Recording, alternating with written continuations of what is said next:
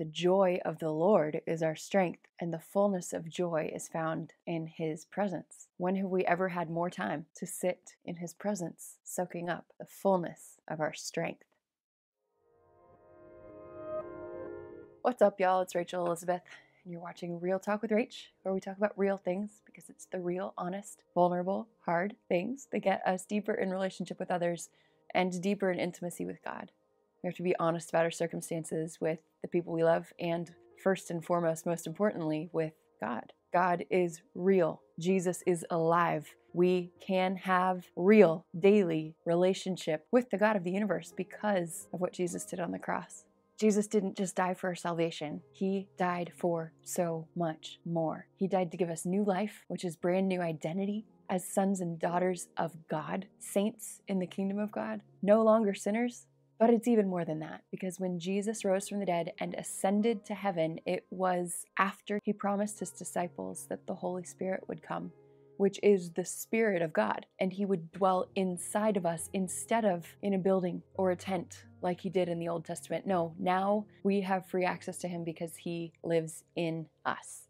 He testifies and points to Jesus. So he is the Spirit of God, the Spirit of Jesus that lives with us and within us and He leads us, guides us, counsels us, teaches us, reveals Jesus to us. And when I say I've been living by faith, spirit led, what I'm really saying is I am in tune with the Holy Spirit and what He's doing in my life. It's as simple as that. Now, that's looked pretty extreme in some cases, like my purposely homeless journey, trusting Him with my every financial need for example, I let y'all know that you can support me, but I never tell you what my current actual needs are.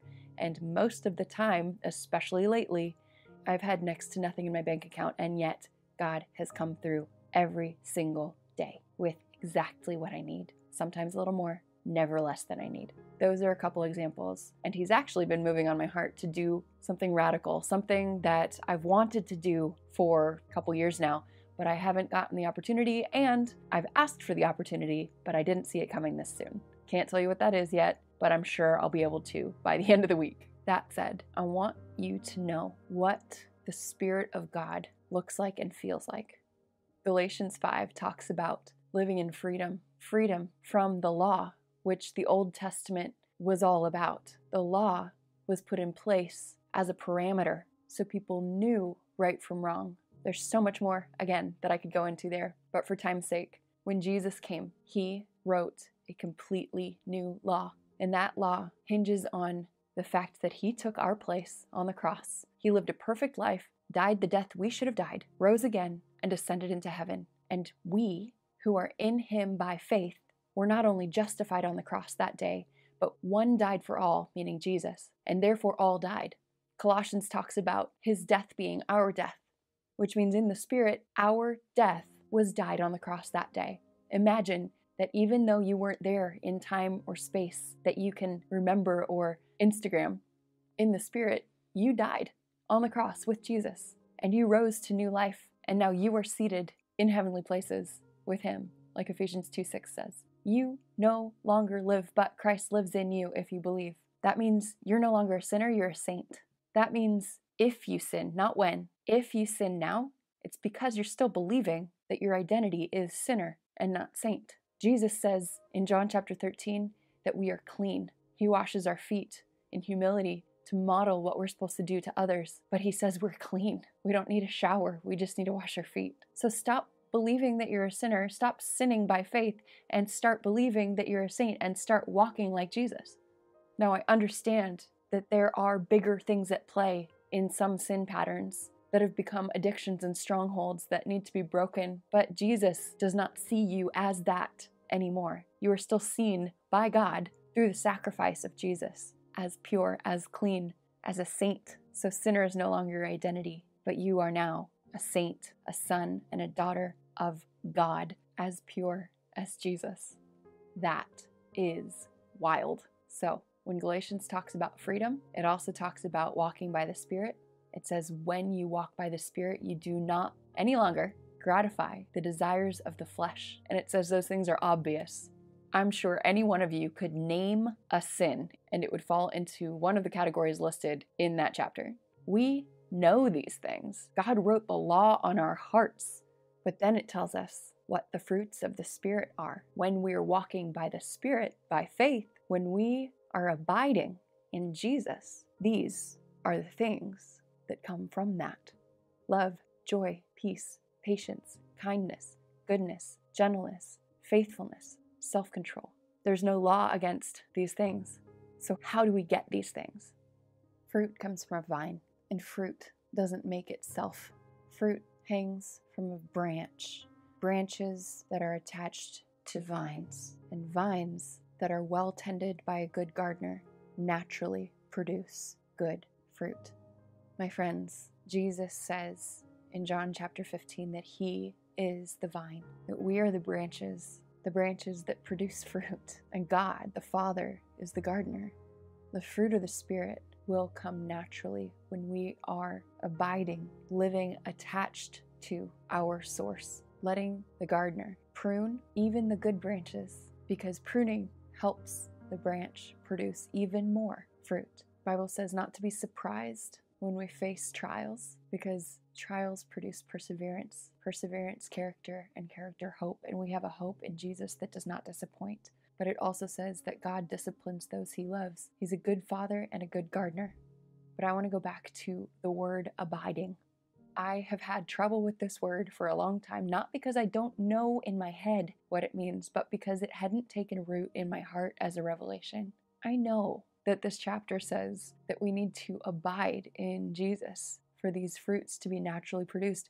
I know that we're not supposed to strive to create our own fruit. I know these things, but I've been asking the Lord for a long time to move that revelation from my head to my heart. And thanks be to God for this quarantine because I've had the time to sit in His presence like I haven't in a long time. And during that time, intentionally turning my attention to Him, sitting in His presence, reading His Word, asking Him for revelation. He's given that to me, and He's given me more joy because in His presence is the fullness of joy. And because of that joy, I now have the strength I need to continue through this season, however long or however short it may last.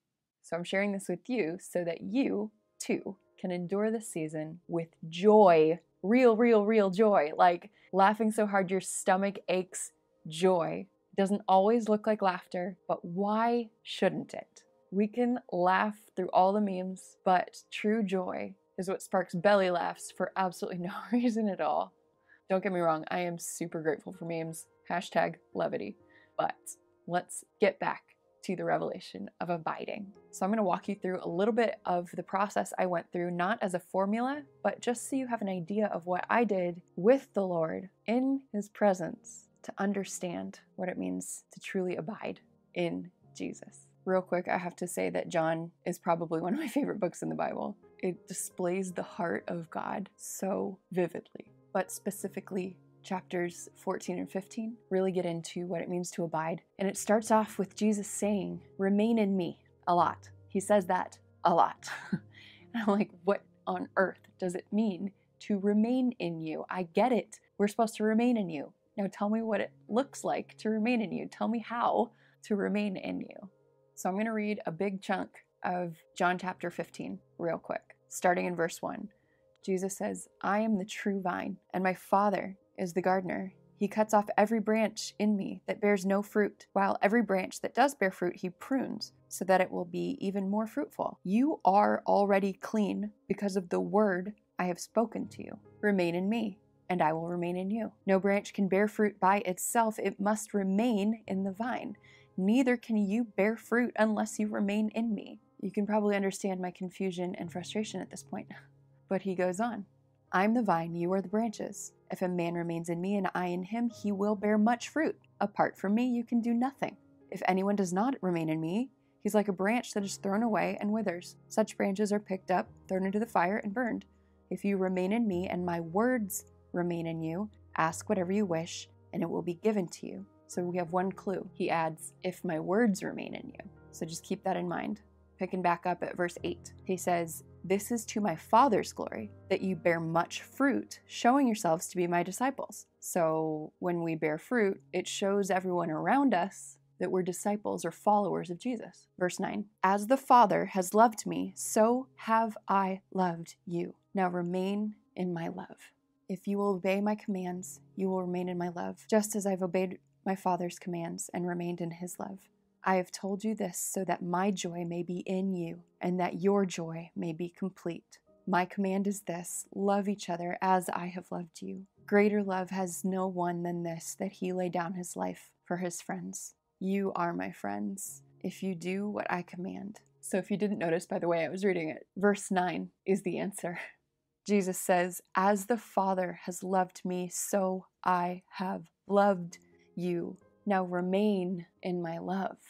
And I ask, Holy Spirit, right now, would you give them the same revelation as you gave me in this very moment? In Jesus' name. Y'all, the same way God of all creation loves his son Jesus is the same way that Jesus loves us. And all he's asking us to do to remain in him is to remain in his love. You know what that means? That means all we have to do is remember his love for us. In the very next verse, it says, If you obey my commands, you will remain in my love. His only command is that we love one another. And the way that we do that is through the fruit that is produced in us and through us, made evident to everyone around us when we spend time with Him, remembering how much He loves us.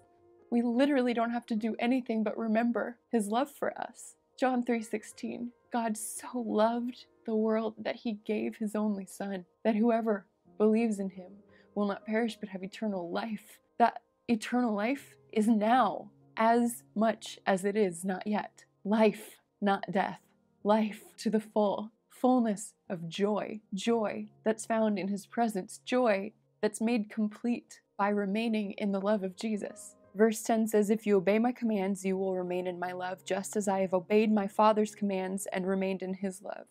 His Father's command was to be our sacrifice so that we could be made new, so that we could be adopted into the family of God, be made redeemed sons and daughters of God brothers and sisters with Jesus, heirs to the same inheritance Jesus has. That is mind blowing. But there's more. Verse 11 I have told you this so that my joy may be in you and that your joy may be complete. Wow. Jesus has told us this incredible revelatory truth about the Father's love for him and his love for us, and the simplicity of his one command to love, so that his joy will be in us, so that our joy would be made complete. Hebrews says, For the joy set before him, Jesus endured the cross. We, our redeemed, adopted, new creation identity, our presence in his kingdom, that was the joy set before him. And now we have the joy of understanding that we are his joy. What? I know it's not live, but leave me a comment if you are getting this revelation. Holy Spirit, please make it possible. And his command is just to love others the way he loved us, which means laying your life down for your friends. And y'all, that sounds huge. It sounds like painful, sacrificial torture, but really, all of that, empowered by the presence of God, the Holy Spirit, becomes a joy when we are remaining in His love because it's a natural fruit that we're not producing on our own. All we have to do is turn to Him and remember that He loves us. All you have to do is believe that Jesus is who He says He is, believe that He is alive, believe that He gives His Spirit to those who believe in Him and remember, every time your mind starts to slip back into old patterns, take a second and remind yourself that that is no longer who you are because God loves you, because Jesus loved you so much that he died for you. All you have to do is remember that he loves you unconditionally. You just messed up? Take a second. Remember, he still loves you. Don't let the enemy lie to you about who you are or lie to you that you'll never get out of it. Take a second, stop, reject that thought, and remember how much he loves you. Remember what he did for you. Remember that there is now no condemnation for those who are in Christ Jesus. Jesus took your punishment on the cross. He took your punishment so that you could forever stop in your tracks any moment of any day and get wrecked like I'm getting wrecked right this moment because He loves me. and the joy of Jesus is in me. And you who believe have this too. You have complete access. All you have to do is remember, remember, remember, remember, remember. If you like this video, give it a thumbs up, subscribe to my channel, share it with a friend who needs it. If you'd like to support this ministry in any way, there are links in the description box below and links in my Instagram bio. I love you and I'm praying for you. Have a great week.